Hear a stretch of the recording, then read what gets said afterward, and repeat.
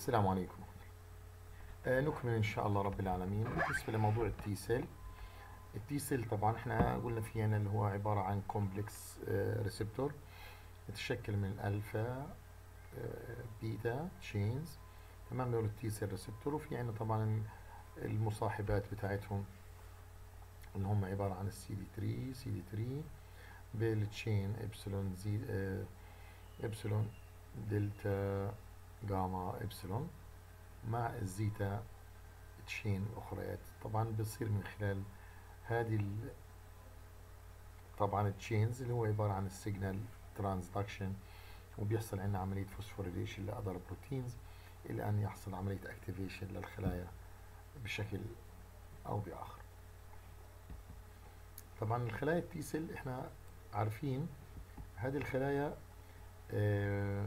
في تعمل interaction يعني مثلا إحنا ذكرنا السابق بأنه خليه ال T cell T helper zero بتكون في ال lymph node في منطقة في ال lymph node منطقة ال paracortex.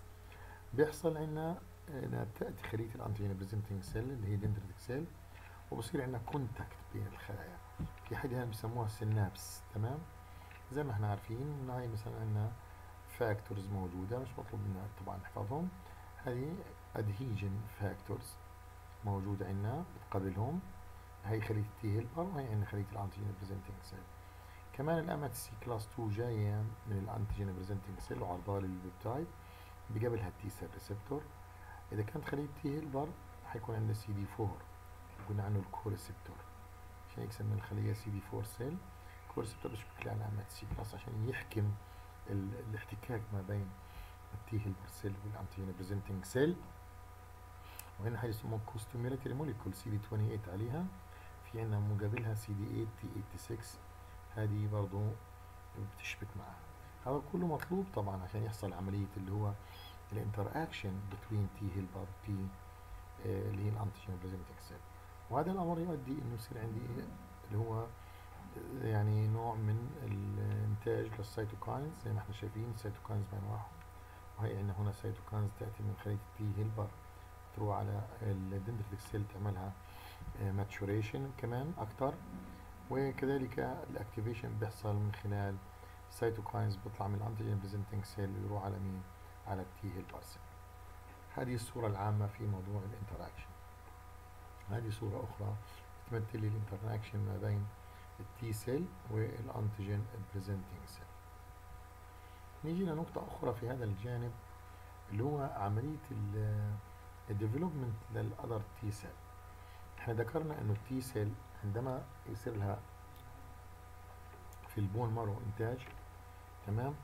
بيحصل في عنا هناك موجود في داخل ال thymus تمام؟ اللي هو بصير عندي رحيل الخلايا من ال bone marrow بتيجي عندي على ال thymus. الآن في ال thymus قلنا في عندنا مناطق موجودة آه اللي هي بسموها ال cortex ومناطق اسمها ال medulla.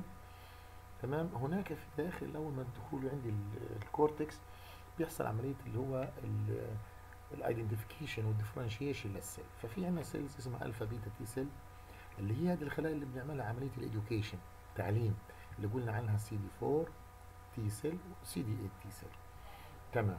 وفي هنا خلايا أخرى اسمها gamma delta T cell يعني عبارة عن T cell عليها receptor chain gamma و delta. عشان هيك سميناها gamma delta وقلنا هذه بتروح لوين؟ لا اللي هي ال innate immunity cell وكمان في عندنا خلايا اسمها natural killer T cell natural killer T cell هذه خلايا لها علاقة في تعمل immune response تمام؟ تعمل activation ل اللي هو ال B cell أساس تنتج لي antibody ضد ال lipid ضد إيش؟ ال lipid بتاع الميكرو هاي المعلومة اللي إحنا لازم نعرفها في هذا الموضوع. فهنا بيقول لي أنا في البداية double negative T cell rearrange ها أول ما تدخل على الكو على ال thymus هيكون في عندي rearrange يا إما تكون الخلية gamma delta T cell يا إما تكون عندنا إيش؟ alpha beta T cell تمام؟ فاللي بيحصل هنا آه بصير عندنا في الحالة هذه إنه ال signal through ده gamma delta T cell receptor switch off إذا صار في عندي signal أجت على ال gamma delta T cell receptor خلاص بصير إن ال B cell ال beta chain gene بصير عنا suppression لمين؟ لهذا الجين بضل عندي إيش؟ gamma delta T cell في عملية ال maturation process وبعد هيك بتروح على مكانها في مناطق اللي هي ال intestine على سبيل المثال وبتكون يعني شغالة بشكل أو بآخر إنها بتحاول تدعم other cells من خلال اللي هي افراز لل cytokines طبعا هذا ال gamma delta T cell ما فيش فيه عملية diversity زي ما كنا نقول على ال alpha beta receptor الآن العكس كذلك ال signal اللي بتيجي من خلال اللي هو ال T cell receptor alpha beta بصير عندنا switch off لمين لل gamma delta وبتضل عبارة الخلية عبارة عن alpha beta T cell receptor وبعد هيك هذه الخلية ال alpha beta T cell receptor يا إما تكون عبارة عن سي دي 4 يا إما تكون عبارة عن سي دي 8 cell بشكل عام. تمام؟ هذا اللي بيحصل عندنا في هذا الموضوع. Thymocyte develop within a well organized microenvironment. Uh, thymocyte طبعا هنا الآن بيحصل لي عملية development وال organization في ال microenvironment. إيش اللي بصير عندنا؟ الخلية بتدخل عندنا قلنا على منطقة ال cortex. okay؟ في ال cortex إذا بتتذكروا مرة حكينا إنه في عندنا حاجة اسمها cortical epithelial cell. cortical epithelial cell. هذه تخلق في ال thymus نفسه. المهم في ال thymus في ال cortex بشكل أو بآخر بيحصل عندنا حاجة اسمها positive selection يعني هنا حاجة اسمها إيش؟ cortex. طلع المؤشر عبارة عن cortex. تحت عندنا إيش؟ medulla تمام. في ال cortex طبعا بصير نوع من ال education للخلايا ال thymocyte اللي هي ال T cell اللي جايين من وين؟ من عند ال bone marrow. تمام؟ وبصير عندنا في هنا حاجة بسموها positive selection بصير عندنا positive إيش؟ selection موجودة عندنا. بعد ما تخلص عملية ال selection ال positive selection بتروح الخلايا على منطقة ال medulla. هذه المنطقة اللي نجي عندي عبارة عن medulla فيها macrophages فيها dendritic cell تمام؟ في عندنا medullary epithelial cell okay؟ هذه كلها عبارة عن خلايا حتساعد في عملية ال selection وتعمل حاجة بسموها negative selection تمام؟ تعمل حاجة اسمها إيش؟ negative selection هذه هي الخلايا كتصوير لها بشكل أو بآخر. خلينا نطلع الآن طبعا إحنا ذكرنا T cell development is defined by change in the expression of the three surface protein طبعا عشان في الآخر أنا أقول يا إما أكون سي طبعا بكون عندنا T cell receptor موجود وعندي CD 4 CD 8 تمام؟ الأول بكون السي دي 4 والسي دي 8 أول ما تدخل الخلية على ال cortex بيكونوا negative بعد هيك بشوي بيحصل بصير الخلايا عبارة عن positive في الأول بيكونوا double negative بعد هيك بصيروا إيش؟ double positive طبعا gamma delta خلاص عرفنا إن هتكون gamma delta يا إما تصير alpha beta ال gamma delta بتاخد طريقها وبتروح على مناطق ال intestine ومناطق أخرى في موضوع ال innate immunity طبعا ال gamma delta ما فيش عليها لا سي دي 4 ولا عليها سي دي 8 لكن عليها سي دي 3 وهذا الكلام إحنا عارفينه من خلال الرسمه مرة ذكرناها اللي هي عبارة عن ال circular آه اللي كانت موجودة عندنا ال circle وقلنا طبيعة الخلايا.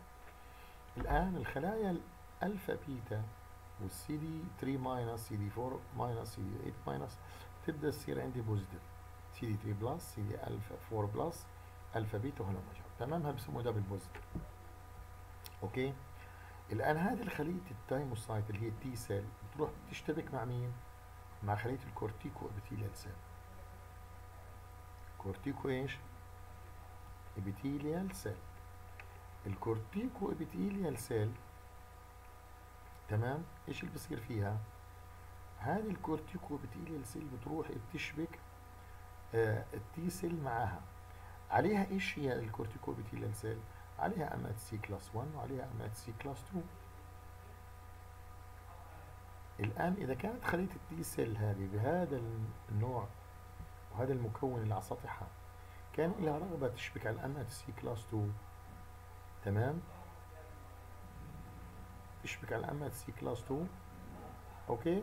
هتصير الخلية مهيئه إنها تكون عبارة عن سي دي 3 plus alpha beta plus CD 4 plus وببدا السي دي 8 ينقص يصير له down regulation إذا كان الخلية شبكت على MHC class 1 100% على MHC class 1 اعرف إن الخلية هتصير سي دي 3 plus alpha beta receptor CD 8 plus CD 4 minus تمام؟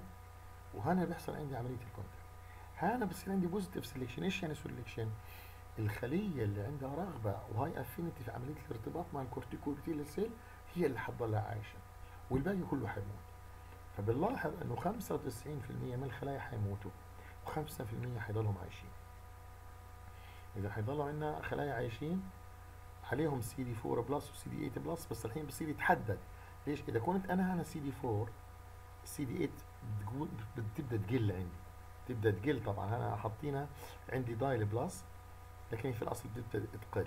والعكس كذلك إذا كانت عندي سي دي 8 plus بتبدأ ال four يقل. تمام؟ okay؟ فهدول ال double خلينا نسميه positive أو بمعنى الأصح آه تجاوزا بنقول عنهم double positive حيصير لهم negative selection عبين ما يصلوا ال medulla عبين ما يصلوا ال medulla بيكونوا هذا السي دي 4 والسي دي 8 تقدر تقول ما فيش شيء. وهنا عندي سي دي 4 ما فيش عندي والسي دي 8 plus وكأنه بده يتشكل عندي سي دي 4 cell و CD 8 cell هذه الخلايا سي دي 4 cell وال CD 8 cell هم الخلايا اللي كان عندهم إيش؟ high affinity لمين؟ لل cortico epithelial cell الموجود عندي فوين في ال cortex الآن هذه الخلايا ال 5% قلنا 95% قديش عددهم؟ 5% منهم اللي حيروحوا على ال medulla. هذه الخلايا ال 5% حيشبكوا لي على ال macrophage حيشبكوا لي على ال dendritic cell والعملية حتكون عكسية. أي خلية عندها high affinity تمام؟ ارتباط جامد مع الخلايا اللي قلنا عنها ال macrophage وال dendritic cell هيصير لها إيش؟ apoptosis العكس في ال positive selection والخلايا اللي ما عندهاش high affinity هذه الخلايا اللي حتضلها عايشة. ما عندهاش affinity يعني حيكون حيكون إن أنا تعرفت عليك طبعا إيش المقصود في ال MHC class 1 و 2 هي عبارة عن MHC class 1 و 2 جواهم ال peptide تاعت مين؟ تاعت my self antigen تاعت جسمي. مش كلهم بشكل عام 100% تقريبا فوق ال 95% من هدول الأنتيجينات تاع الجسم أو ال peptide حيكون موجودين على ال MHC class 1 وضحت؟ اذا معناته إحنا تعرفنا على ال peptide تاع جسمنا وما لم نثار لم يحصل لنا activation وهذا اللي بدي إياه. بدي إنه هذه الخلية اللي أصبحت سي دي 4 plus أو أصبحت سي دي 8 plus يروحوا على ال lymph node تمام؟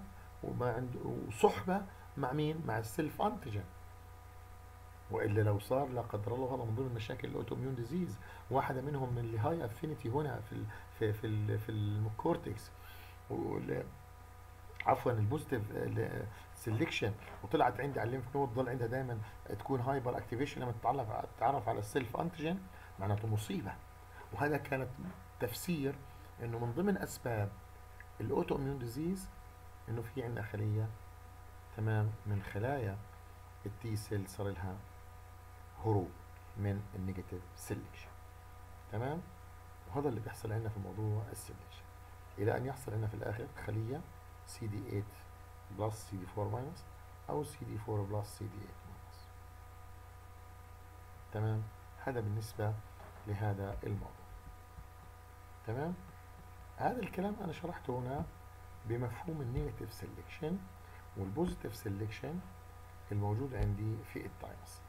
هنا حديث زي ما أنتم شايفين عن موضوع ال positive selection اللي هو عبارة عن تعبير للكلام اللي أنا حكيته. تعبير للكلام اللي أنا حكيته. إحنا قلنا عندنا ال cortical epithelial cell عندها MHC class 1 وعندها MHC class 2 وعليهم مين؟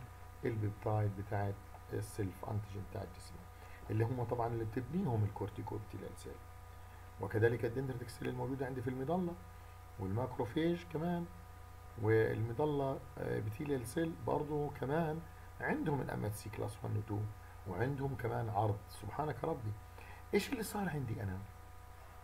طب إحنا هناك كنا عندنا high affinity إيش عجب هذا طلع منا في منه ظلوا high affinity وظلوا منه صار له affinity اللي هو صار عندي على مستوى يعني في. في خلال الرحلة تاعتها من ال cortex لل medulla الخلية صار في عندها كمان نوع من ال rearrangement في ال genetic material واضح بشكل أو بآخر.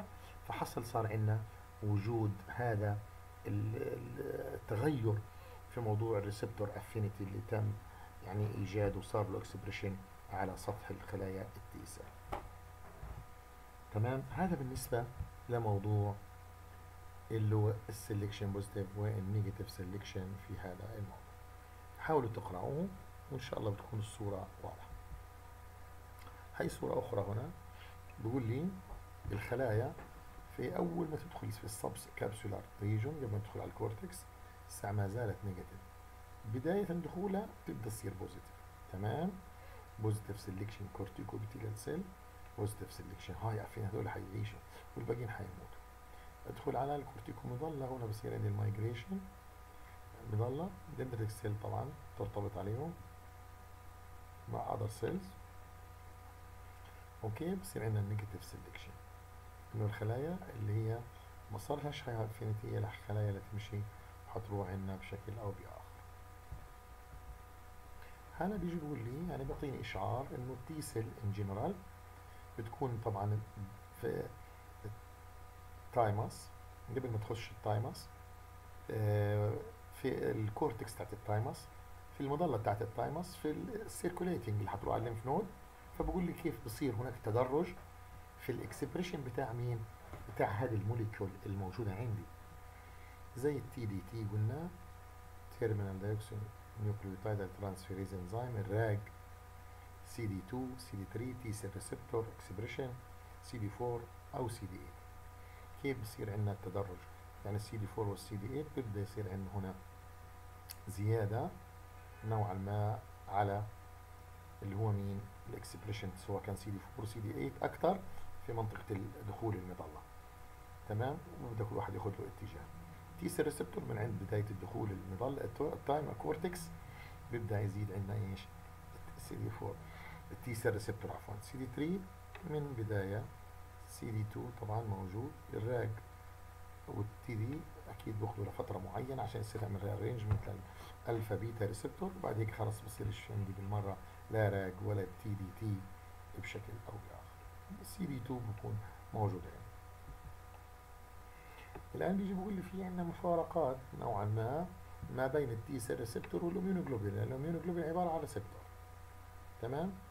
خلينا إحنا نطلع على ال table وال table هذا هو يعني بيعطيني إشعار بشكل أو بآخر.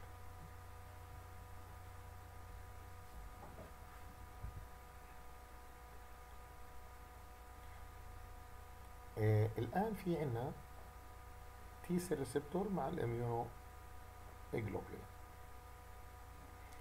نحاول نشوف آه إيش الفروقات ما بين ال T cell receptor وال immunoglobulin نيجي نطلع على ال table عشان نختصر الحديث بشكل أو باخر ال feature of or function ال feature or function antibody immunoglobulin تي سيل ريسبتور اطلع عندك هنا الانتي بودي قلنا مفهوم عندنا انتي بودي تبعه اي جي ام عندنا التشين بتاعت تمام. الكومبلكس هنا عندي عندي تي سيل ريسبتور عنده سي دي 3 زامبو زامبو زيتا. هنا هدول بيعملوا لي سيجنال ترانسدكشن سي دي 3 زيتا قلنا الكلام هذا. لكن هنا مين بيعمل لي سيجنال ترانسدكشن اللي هو بينقل لي الإشارة الألفا والبيتا. تمام. الآن إيش في عندنا؟ effector function complement fixation phagocyte binding طبعا ال antibody أكيد له مستقبل على ال phagocytic cell بيعمل fixation لل complement طبعا الكلام أكيد. هنا ال T cell receptor ملوش في الحدوته طيب. forms of antigens recognized. طيب أنت يا T يا antibody آه بيشبك عليها بروتين ممكن يشبك عليها lipid سكر no problem nucleic acid chemicals okay؟ بيشبك عليها هنا أنا بتعاملش إلا مع peptide على ال MHC class ملاحظين دائما التعامل مين؟ receptor T cell مع ال MHC اللي حمله لي ال peptide تمام؟ هذا اللي بيحصل عندنا في هذا الموضوع. تمام؟ عندنا epitope معين. هناك ممكن يأخذ linear conformation يختلف بصير diversity طبعا في عندي diversity هذا الكلام فاهمين إيش معنى ال diversity بديش اشرح تمام؟ وبصير عندنا specificity لأكثر من 10 قوه 9 ملاحظ هذا كله سبحان الله في clonal selection theory في التخليق. قبل ما نتعرض وتصور عندك كمان ال T cell receptor ألعن. ممكن عندنا specificity ليصل ل 10 قوه 11 تمام؟ a lot سبحانك رب. Antigen recognition is mediated by بال variable region طبعا برضه ال variable region طبعا. تمام؟ هذا heavy و light chain هذا على ال alpha وال beta chain signal function are mediated by قلنا signal function by alpha و beta by CD3 و zeta تمام؟ ال effector function are mediated by constant region. طبعا ال constant region بتاعت ال antibody طبعا هي أكيد كيف بصير ال complement activation من خلال ارتباطه على ال constant كيف بصير ال phagocytosis من خلال ال receptor بتاع ال constant region ال T cell receptor ملوش علاقة في هذا الوجه تمام؟ ملوش علاقة effector function just أنا بستقبل MHC class مع peptide وبعد هيك بصير عندنا signal transduction ومن خلاله بصير activation من هذا ال complex اللي حواليه تمام. هيك بنكون انهينا موضوع ال antibody وعرجنا شوي على ال T cell ووضحنا الفروقات ما بين ال T cell receptor وال antibody as receptor for the B cell تمام؟ وإن شاء الله تكون الصورة واضحة وأي استفسار إن شاء الله نحن على استعداد. يعطيكم العافية والسلام عليكم ورحمة الله وبركاته.